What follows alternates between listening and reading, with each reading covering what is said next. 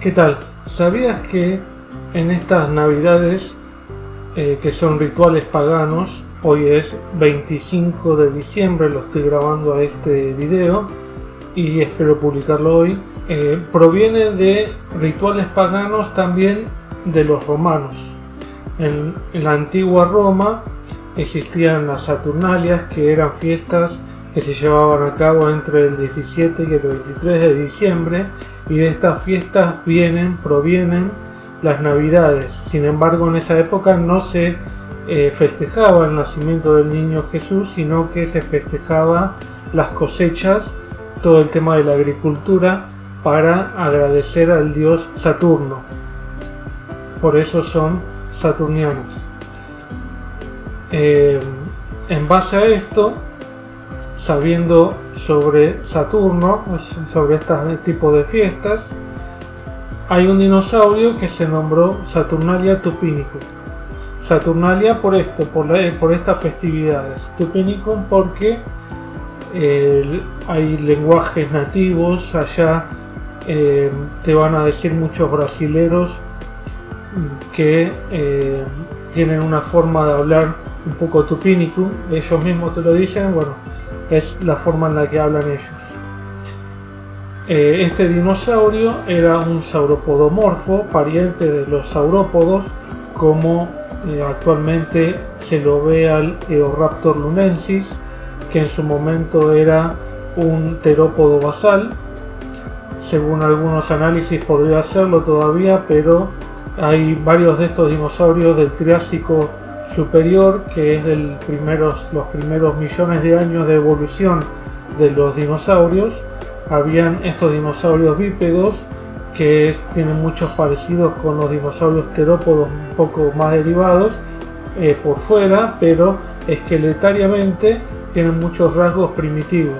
Este dinosaurio de Brasil, Saturnalia tupinicum, fue descubierta por Max Langer en eh, a fines de los 90 y pertenece a la familia de los boibasáuridos, que son también todos un grupo de sauropodomorfos, eh, grupo anterior a los saurópodos, que está relacionado con estos, pero están por fuera de los saurópodos, que son los dinosaurios que hablamos en el canal, los más grandes de cuello largo y cola larga. El Saturnalia tupinicum tiene como pariente también en Brasil al Guaybasaurus candelariensis, también de esta zona descubierta por José Bonaparte, quien era un paleontólogo argentino que murió hace dos años, que trabajó mucho en Brasil y desarrolló grandes profesionales desde la actualidad que se dedican a dinosaurios en Brasil, pero Bonaparte también se dedicaba, bueno, en general a los vertebrados mesozoicos, pero en particular a los mamíferos mesozoicos también descubrió mucho. Bueno, este Guaybasaurus y Saturnalia tiene también parientes en Argentina como el Cromogisaurus novasi. Sabemos que Brasil y Argentina estaban muy cercanos uno del otro como en la actualidad, pero en el Triásico estaban además unidas con África y había cierta conexión también con Europa y Norteamérica, aunque eran más distantes, ¿no? Pero sabemos que había un intercambio de fauna y flora muy constante, muy continua entre los continentes, entonces esto permitió que hubieran los mismos taxones, por lo menos a nivel familia, en muy distantes áreas del mundo.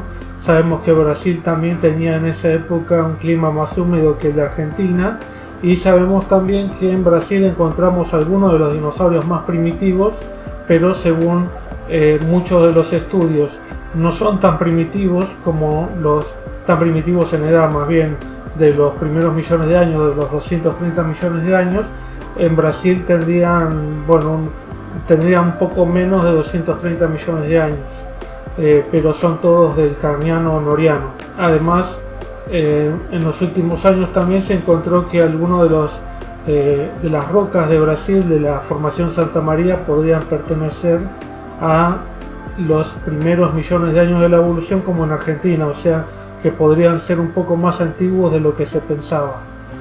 Bueno, espero te haya gustado este video, vamos a seguir hablando sobre todos estos dinosaurios, pero hoy te quería comentar sobre esto de Saturnalia, que es una curiosidad. Espero que pasen felices fiesta, feliz año nuevo y seguimos en Jurassic Palio. Suscríbete, dale like, comentar y seguimos en el canal.